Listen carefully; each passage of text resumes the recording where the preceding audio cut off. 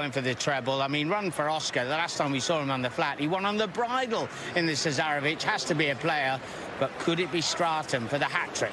Race number 35 of the week. Richard. Thanks, Ed.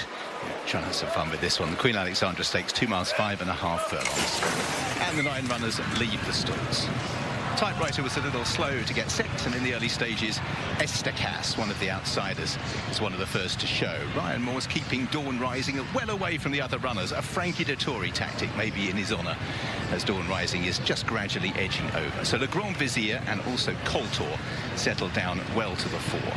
Just behind these, on the inside, we have First Emperor, as Dawn Rising continues just to saunter over. The blue and white colours belong to Stratum, as they make their way up the home straight. As the inside, Estacas is now no better than midfield. And early on, Typewriter tracks Falcon 8 and the very pale colours of Run for Oscar as they continue what is just about the full extent of the straight course. So they can take their time. You can see just passing the five furlong marker, and it's Coltor who has the lead. Dawn Rising has gradually just moved closer. The end result looks as if he's going to end up sitting in second place on the outside of First Emperor in third. The Grand Vizier, out and out stayer, is in fourth place with Stratum, the dual winner of this race, on the outside of Estacas as they make their way up the straight. Falcon 8 with Run for Oscar, and still at the back, Typewriter. So making their way round that final bend, they'll be taking in a circuit's time.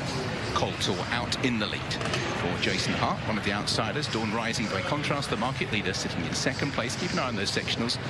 It's been pretty steadily run to this point. We're pushing 14 second furlongs. They'll get faster once they run downhill, irrespective of any increase in the pace, but it's just so more steady early on. In third place on the inside, races first Emperor.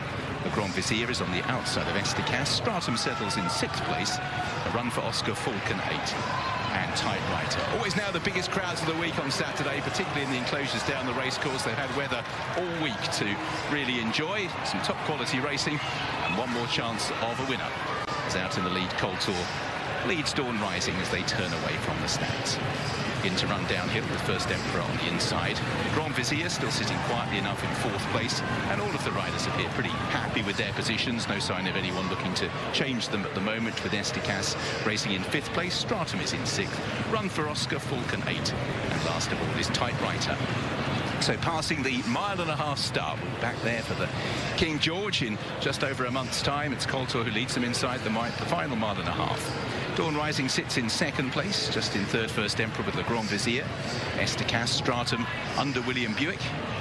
Sixth place, just ahead of Run for Oscar and Jim Crowley. Last two, Falcon 8, Tom Marquand, and last of all, Typewriter for Oisin Murphy. So it's Coltor on the descent. Has the advantage, and that advantage remaining a length. And you see the pace does increase just naturally here because they run downhill to Swinley Bottom the moment, all of the riders still sitting quietly as Coltor at 35 miles an hour makes the descent towards the lowest part of the racecourse, and then the climb uphill will begin. Dawn Rising racing in second place. In third is First Emperor. Le Grand Vizier is in fourth. Racing in fifth place, Estacas, Stratum, Run for Oscar.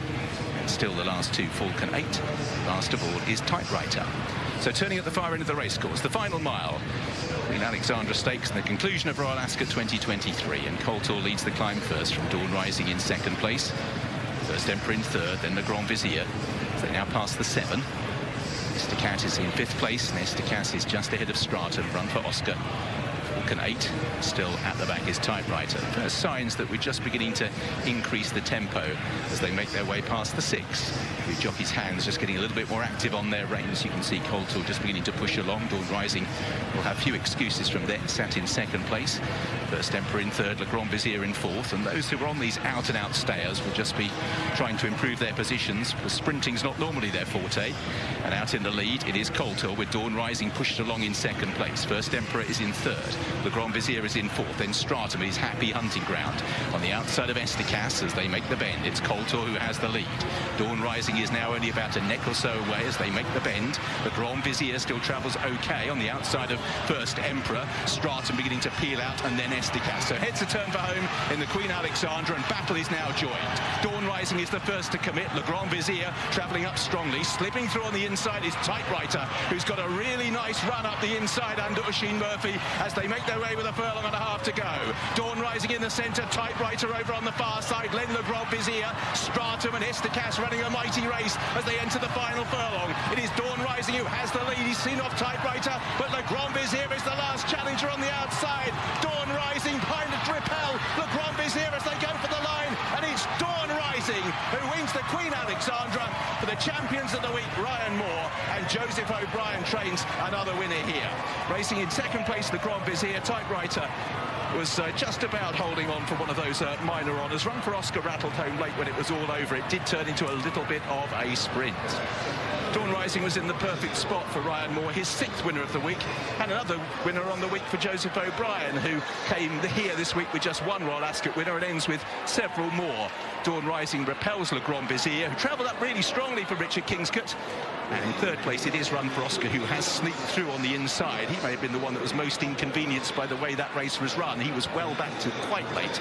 Typewriter was in fourth place. Estacas ran a really good race in fifth. He was any price you like.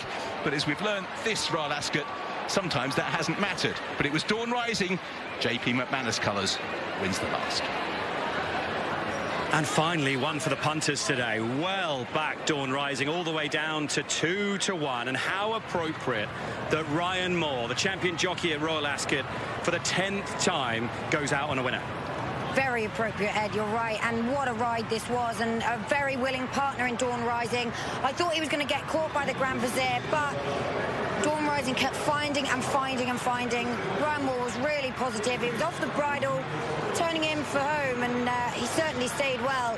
When we watched this back run for Oscar, oh my word, he was stop and stop and stop the whole straight.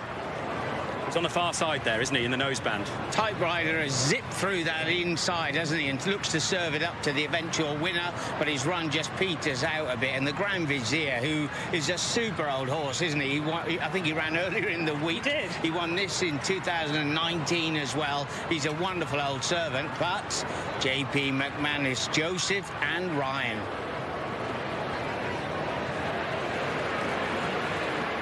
Well, I know Ryan doesn't really mind superlatives, but that was an outstanding ride, Ryan. The way it unfolded, I know you smirk, but you were in a really good position, and I love the way the horse responded for you late on. Yeah, look, he, Joseph obviously had him prepared beautifully for today. Been jumping, he's won graded race over hurdles there in the winter. Had a nice run at Leopardstown, and he put into he put he's in put himself in a nice spot, and I just gradually built along. Um, it's nice to finish the week with a winner. I'm going in there. Can go in now. Um, just a, a, brief word about when Grand Vizier came to challenge you. Was you always confident you'd hold on? Yeah, he was. I hadn't really um, asked him for everything, and he was always finding plenty. You know, Joe's horses aren't going to stop. Uh, Ryan, obviously today you're crowned the top jockey at Ascot, but as you well know, as you well know, Frankie Dettori has ridden in his last Royal Ascot race and an opportunity for you as one of his biggest rivals and someone that shared the weighing room with him here at the Royal meeting to um, perhaps give us your thoughts on the Italian maestro. Yeah, look, it's hard, to say. Um, I'll miss him.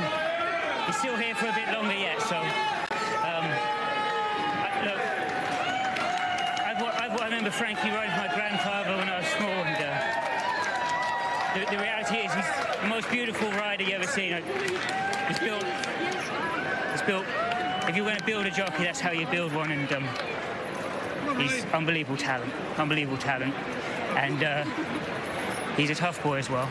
You know, he's um, he's always he's always wanted to be at the top and to stay at the top for I think 35 years. That that that takes a lot. That's not easy. Well, not bad from you today, Ryan. Indeed, this week. Congratulations on being champion jockey at Royal Ascot once again. Yeah, six wasn't enough. well, that was class from Ryan Moore. Really good tribute to Frankie Dettori. But the truth is, this week, I mean, at the moment, you'd want Ryan Moore ahead of anybody on any ride. When he's fair to say, Jason, all week he's been an absolute class apart. Yeah, he, he's been super. We've, we've been spoilt. We really have. Um, you know, I mentioned about Jamie Spencer's double. You can talk about Neil Callan managing to ride a couple of winners at huge prices.